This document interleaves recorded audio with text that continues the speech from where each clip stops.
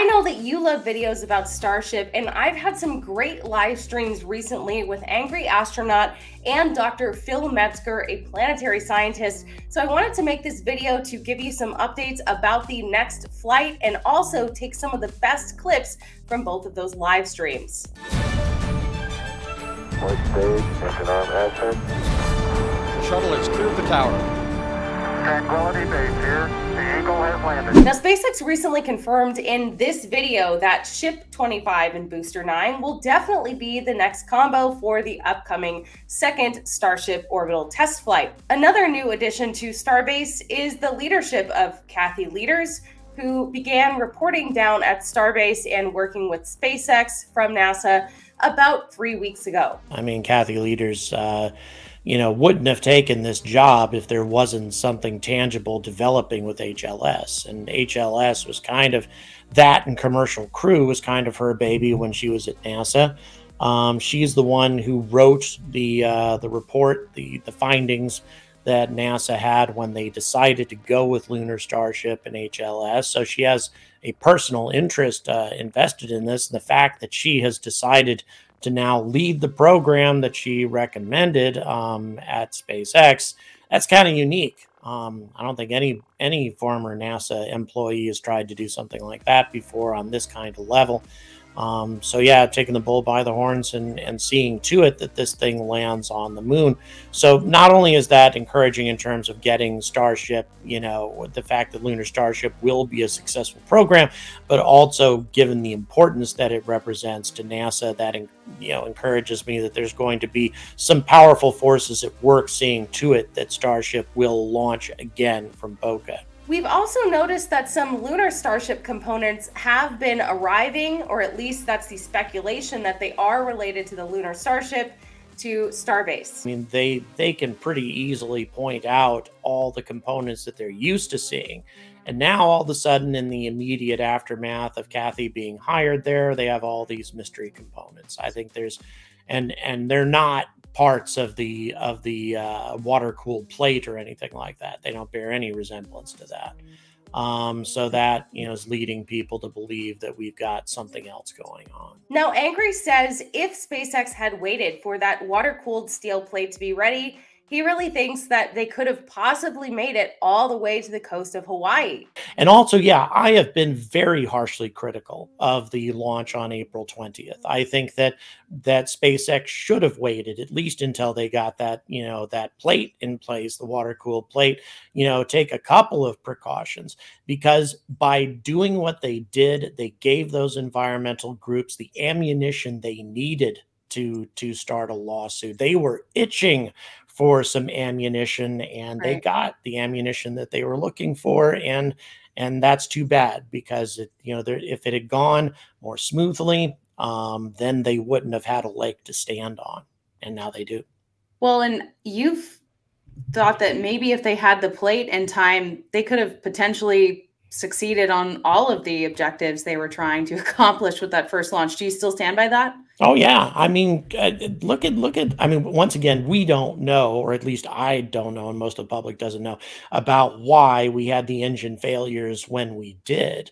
Um, right. but nevertheless, I mean, you know, that that was that concrete maelstrom that was created. Had that not existed, yeah, then the rocket wouldn't have sustained nearly as much damage and it might have been able to achieve orbit. Of course, scientists are still studying the aftermath, especially with this pending environmental lawsuit of the launch. We all know that the pad pretty much exploded into these concrete chunks and fondag and Dr. Phil Metzger, who is a planetary scientist, has been receiving samples and studying not only the concrete chunks, but also the dust. So here are some of his findings. I did get people to send me samples from Boca Chica, samples of the sand sized particles and dust sized particles that rained down five or six miles away in Port Isabel. So people have swept up some of those samples and mailed them to me in baggies, and we're currently doing analysis okay. Do you have any takeaways that you can share yet, or are they still you're still? Oh, yeah, I can tell you what we've done so far. Um, I'm gonna. By the way, I am gonna try to publish a paper on this uh, on this analysis, and all the people who did the field work, collecting the samples, and um, giving the context information and sending it. They're all going to be co-authors, and so I'm really excited about this as a citizen science activity. Um, but what what we've done so far is um, we've measured the particle size distribution of all this material, and we've shown that um, most of the particles were between 10 and 500 microns in size, which means they're not a breathing hazard. Um, but there were some particles below 10 microns in size. Those would be a breathing hazard, except it was so little that it really wasn't. Um, so that that answered the questions that a lot of reporters had. You know, it was not not a hazardous thing. I mean, it would be a nuisance to have sand falling down on your car, and you got to sweep right. up patch in the paint. You know, but that was pretty much it. Um, so we've settled that question. Um, but we're still trying to understand exactly what is this material that rained down five or six miles away. Because when a rocket exhaust blows sand, it shouldn't go that far. Um, on Mars, where the air is thinner, it goes farther. But the thing that goes the farthest is gravel because it has more ballistic coefficient. It's got the inertia to go farther in the air. Um, and it only goes 700 meters, you know, less than a kilometer. So for particles um, all the way from below 10 microns up to 500 microns to go five or six miles, that's really just surprising. And, and we think it's going to give us some insight into how rocket exhaust interacts with geo materials. Um, hmm. so, we're, so we're still um, working on the analysis of what these particles exactly are. We're, we're going to do um, Raman spectroscopy uh, there's a researcher in Houston who's going to do that and will be a co-author on this work. Um, we're in the University of Central Florida. We're doing infrared and visible spectroscopy, and then we're comparing that to the concrete chunks. There were like five different kinds of concrete that were blown right. out onto the beach. And so we're, we're going to compare to these, and hopefully that'll give us insight into exactly what is this sand. Was it the was it the fondag? You know, was it the material directly under the pad, or was it material farther out, or maybe right. below the fondag? And so that should give us some insight into how that landing pad or launch pad broke apart, and um, that could give us some insight into the models we're developing for landing on the moon and Mars. The sand samples came a while back, and then we later on realized we needed to measure some concrete too. So I put out a request on Twitter, and about two or three different people are sending pieces of concrete and fondag. Wow. So they sent me pictures, and one, some of them look like the one you have there. But yeah, there were also yeah. some fondag, which is much darker and finer right. grained. It doesn't have the large aggregate pieces like what you just had in your hand. Um, okay. Yeah, yes. Someone, I, someone sent me this too. So we have generous people. yeah, I mean that's kind of historic, right? You want to keep it. I promised everybody I'm going to send their samples back because it's pretty historic. I think oh, we wow. may never we may never have a launch pad blown apart like that ever again. You know, it was like the one and only time. I don't know where the SD card is, unfortunately. Now, Starship has a long way to go before we actually make it to Mars. But one of the biggest hurdles that Angry says Starship will face is figuring out that orbital refueling in low Earth orbit. Oh, yeah.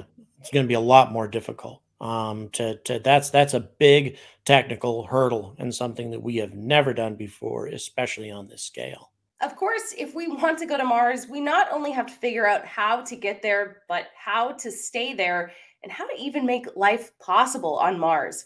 That's why I was so excited to interview Dr. Metzger, who actually has been studying and thinking about this topic for many decades now. He gave a TED talk almost 10 years ago about why we should put robots on Mars, and that is looking more and more likely today with the development of Tesla Bot. Yeah, it's it's uh, amazing. We're in the middle of a robotics revolution, and of course, artificial intelligence has been all, in all the news and social media for a while because of the advances there.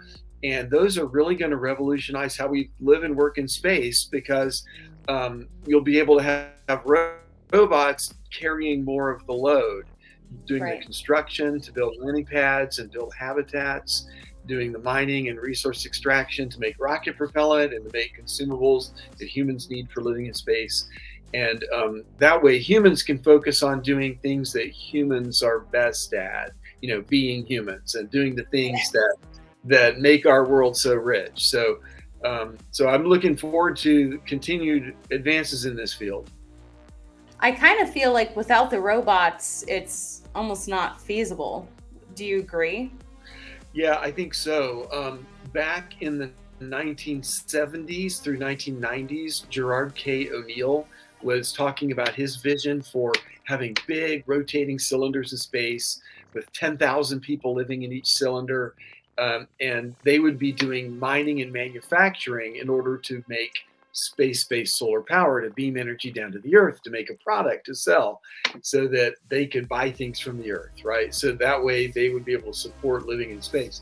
But in order to make that model work you had to have 10,000 people living in space before it can start to break even. Right.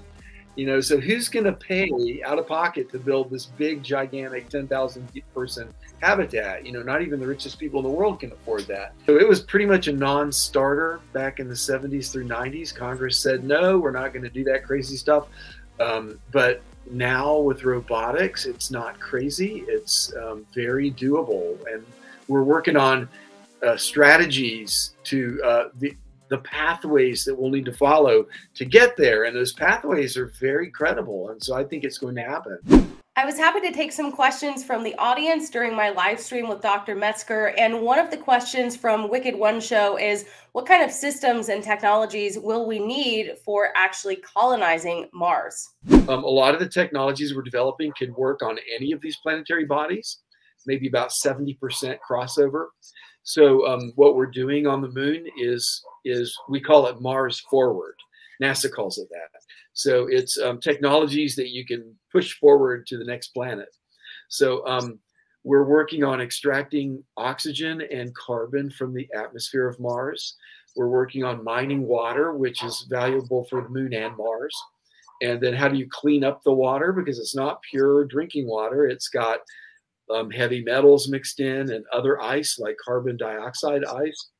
So um, the, the, we've had groups around the country and around the world working on these technologies, and it's mostly funded by government space agencies. But um, the private space companies are self-funding some of that work as well. I, I, recently did an economic study of settling Mars. I haven't published it yet just because I don't have time. It was unfunded research, and I just have to do it on my own time. But um, I'm surprised how realistic it is to to build a city on Mars. I didn't expect that result.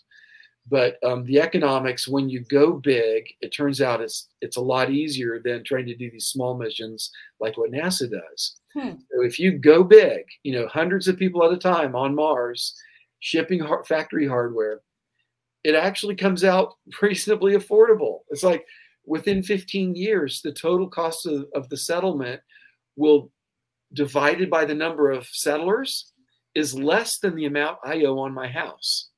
So, I mean, so that's doable, right? It's doable.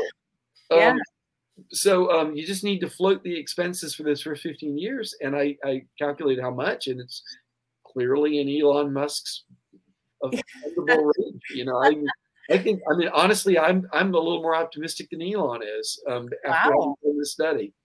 But, um, but here's the thing um, the hardest part of it is going to be making life as comfortable as it is for us now, because yes. that means we've got to have a lot of sophisticated stuff like iPhones. And making an iPhone is like the pinnacle of industrial development. Um, the easy stuff will be making breathing air and drinking water. That's the easy part. And, you know, that's the only thing that makes it different than life on Earth. Um, you got to make the air you got to you got to mine the water and, and melt it and clean it up. And you got to live under a dome you know? That's supposedly the hard part but in economically that's actually the easy part. And hmm. um, we, the cost of doing that is such a small part of the whole economy that you can easily absorb that cost simply by let's say let's say that you live under a big giant dome so you don't need cars right? You're not going to need cars on mars for the first 50 years. So get rid of the whole automotive industry. All the money that would have gone to cars easily pays for living under a dome and making, you know, cleaning up the soil for agriculture and, you know, So it's not going to be as hard as people think it is once you go big. Dr. Metzger informed me of a scale that I hadn't heard of before a technology readiness scale that goes from one to nine for NASA to determine what kind of technologies are actually ready to be tested in space. One means you've got some new idea from physics. TRL2 means I know how to turn that into a technology and apply it. TRL3 means you've done the laboratory test to show that the basic idea works. TRL4 means that you've actually built pieces of it, the, the critical components, and you've tested them and you've measured how effective they are, and you've done the modeling to show, yeah, this application is actually going to work in a, in a way that makes it worthwhile. And then TRL5 means you've built some rough prototypes and demonstrated them. TRL6 means you've built high fidelity prototypes. You've tested them in a relevant environment. So TRL1 through 6 is what you have to do before you can send something into space. Okay. Um, once you've committed to sending it into space, seven means you've built the qualification units, you've done all the shake and bake, you know, the thermal vibe tests, um, and you've qualified that particular design. TRL 8 means you've now built the test art, the flight article, and you've performed its pre-flight checkout. And then TRL 9 means it's flying in space. So TRL 1 through 9, it's a very convenient system. We use it all the time. So most of these technologies are now between TRL 3 and TRL 5. Uh, some, okay. some are at TRL 6, We've done tests on volcanoes, reduced gravity aircraft, and vacuum chambers. So some have been tested in a relevant environment, but most of them are TRL three to six, I mean three to five. Five is pretty good. If you're at TRL five, then you're ready for a big infusion of funding to do the the big high fidelity test and then commit to flying it. So um, so that's where we are right now. We're working up the TRL scale. Of course, the trip to Mars is going to be long and probably not that enjoyable. And there are hazards while on Mars, including radiation and lack of gravity. So here's what Dr. Metzger had to say about those two very real concerns. What you just said kind of leads into the next question from Alan. What can be done to mitigate some of those harder problems, like the lack of gravity and radiation, both during the trip and once on Mars? Yeah, so um, gravity, there's not a lot you can do about that. You know, Mars has three eighths of Earth's gravity, and it always will. so there's not much we can do there. Um, but um, we don't know yet if if that's going to be harmful to human life. I think probably it's not going to be that bad because it's it's not an order of magnitude less than Earth gravity. It's still within, you know, still within 60% or something of Earth's gravity. So um, that's not bad. Um, and I've done reduced gravity flights. I've done zero G, I've done lunar gravity, and I've done Martian gravity. And I'll be honest, Martian gravity was disappointing because it felt like Earth. Um, lunar gravity, you you feel like you're buoyed up and you bounce a lot, you know. But Mars gravity, after doing you know 40 parabolas of lunar, then going to 10 parabola of Mars, it's like, oh, okay, well this feels a lot more like Earth gravity. So with that anecdotal evidence, I don't think it's going to be that that bad. You know, with medical interventions, with with lots of exercise to keep your body healthy, I think the gravity may be doable. Um, radiation, that's a bigger problem, I think. Um, so the the really the only way to stop the radiation is to have a lot of mass over your head. Here on the Earth, we have this thick atmosphere. If you were to condense the, all the mass of the atmosphere down into a solid, it would be about 10 meters thick of sand.